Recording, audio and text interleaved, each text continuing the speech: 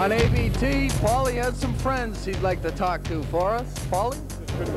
Hey, I'm back again. Uh, Nick, seeing you uh, here, it looks like you're going to be one of the referees tonight. I might Uh, I would like to know uh, if you could just alliterate a little bit about your boxing career and some of the great fights that you had. Well, I had a few good fights in my time. I boxed along with you two. and We both helped each other out boxing. In 1959, I was New York lightweight champ for six months. I beat a kid from Claremont, New Hampshire, Tommy Garrow, who had beaten Tommy Tibbs, who had over 400 pro fights at one time. Since then, he's gone. In the meantime, I'd beaten Garrow twice, and I lost to Tibbs at the Garden. It was like a round robin. Garrow beat Tibbs, Tibbs beat Previti, and Previti beat Garrow. I remember those fights, and they were great fights, and they'll never be forgotten. Well, And, uh, Paulie, you got a record there that no one's going to beat. what's that? You had 10 knockouts in 10 and a half minutes. Oh, I forgot that. Gee, I did. I do hold a record, don't I? That's right. But the opponents weren't as great as the opponents you fought.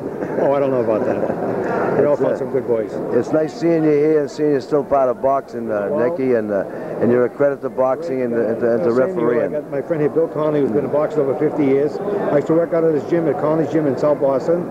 Right now, he's the vice president of the Amateur Boxing Association. I'm the chief of officials, and I'd like you to join the organization, become a judge or referee, maybe, and we could do something. I'd be very honored to do that. You know, I, something going. I just want to know that you allow bald-headed guys in this. I don't. Ball is beautiful. Well, Mr. Connolly, I'd, I'd like to know if you could say a few words and, about the boxing. I'd like to because I'm standing with one of my best friends, Mr. Previti, and I was elected vice president of the New England Amateur Boxing Association in uh, July and uh, for the next two years.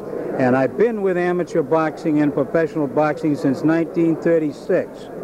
And the only thing I can claim is that in 1943 I was junior welterweight champion in the U.S. Army. Uh, my cousin Paul Pender was uh, he, he did very well. He became the middleweight champion Of the world. And I and I see here tonight in the gathering a gentleman that trained me when I went to high school, Mr. Ray McPeck, who just showed me a medal where he had to fight three times in 1937 to be the New England middleweight champion. And now we hardly let the kids fight once.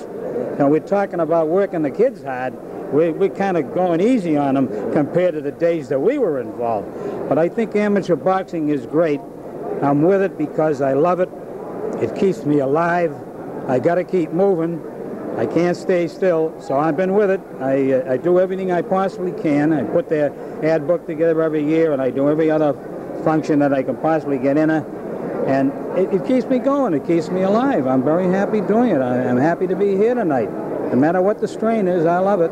I can't quit. and as I say, I got my buddy. If I didn't have this guy with me, this is my right arm. There's nothing I ask him that he doesn't do for me, and we we understand each other pretty well. and We can level with each other. That's a big thing. I can believe him, and he can believe me, and we're both great for boxing. Thank you. I, uh, I, I will second that motion. And, you know, I think everybody would like uh, the guy next to you, Nick Previti, as a right hand because he'd be a good right hand for anybody. And you know, incidentally, if I can inject one thing, talking to you, Mr. Stivaletta is a guy here that helped me on a tremendous sports night we had. I can't even think of the year. It's probably 20 years ago at St. Bernadette's in Randolph. That's right. And we yeah. had everybody that was anybody in the sports game there. That's Not right. only boxers, football players, hockey players, Basketball players. you name it. It was the greatest sports night I ever attended. And I thank you, Paul, for being there that night. And I'd like Thank to, th and I'd like to thank you for having me. And I'd like to, to thank you for the great uh, speech you just made tonight about just threw it, about boxing because without without guys like you, there wouldn't be any boxing. To dedicate their time to these young kids, make sure that there's places for them to fight, and to setting up the uh, program to, as good as you do, it's such a credit. But you know, you don't get your names up in lights, and this, people don't know don't. all behind the scenes how tough it is to set up rings and try to promote these fights. And we should get a little play in those things for you no. people. But it's you people who, like you say, are fighters, and we'll keep fighting for the younger crowd to give them the opportunity that you had, and Nick had, and We're I missing- had. We're missing one guy tonight, our president, who's very sick, Yeah. Jim Florio. He's the president of the amateur boxing. He's been in the hospital. He's at the uh, Goddard Hospital. We were just praying that he'd be all right and come back to help us. And too bad he isn't here tonight. That's nice you mentioned that, I think we all can say God bless him, and, That's we, right. and we hope he'll be back. Thank you. Thank you.